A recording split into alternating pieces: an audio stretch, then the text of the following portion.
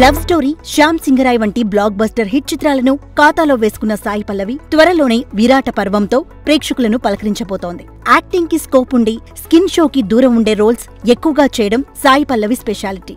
డాన్స్లో దుమ్ము తులిపే సాయి పల్లవి తాజాగా ఒక సినిమాని చూడ్డానికి దొంగలా మారింది. గతంలో శ్యామ్ సింగరాయ్ సినిమాని చూడ్డానికి వెళ్ళిన సాయి పల్లవి తనని ఎవరూ గుర్తుపట్టకుండా బుర్కా వేసుకుని థియేటర్లో ప్రేక్షకులతో కలిసి సినిమా చూసొచ్చింది. సాయి పల్లవి ఇప్పుడు మరోసారి అలాంటి పనే చేసింది. సూపర్ స్టార్ మహేష్ బాబు నటించిన సర్కారు వారి పాట మే పన్నెండున రిలీజ్ అయిన విషయం తెలిసింది. ఈ సినిమాను థియేటర్లో చూసి ఎంజాయ్ చేయాలని భావించిన సాయి పల్లవి ముఖమంతా కవర్ అయ్యేలా స్కార్ఫ్తో కప్పేసి మాస్క్ తగిలించి హైదరాబాద్లోని ఆర్కే సినీ మల్టీప్లెక్స్లో సినిమాను చూసింది. సినిమా అయ్యాక బయటికి వచ్చిన సాయి పల్లవి తనని ఎవరూ గుర్తుపట్టకుండా కారెక్కి వెళ్ళిపోయింది ముసుగులోనే కాని కోవిడ్ కిట్లో ఉన్న హీరోయిన్స్ని గుర్తుపట్టే ఆడియన్స్ కెమెరాలు సాయి పల్లవిని చూడగానే క్లిక్ మన్నాయి. ప్రస్తుతం ఇందుకు సంబంధించిన వీడియో సోషల్ మీడియాలో వైరల్గా మారింది. మిగతా వారిలాగా స్పెషల్ షో వేసుకుని సినిమా చూడకుండా ఇలా ఆడియన్స్తో కలిసి సినిమా చూడాలి అనే సాయి పల్లవి ఆలోచన చాలా బాగుంది.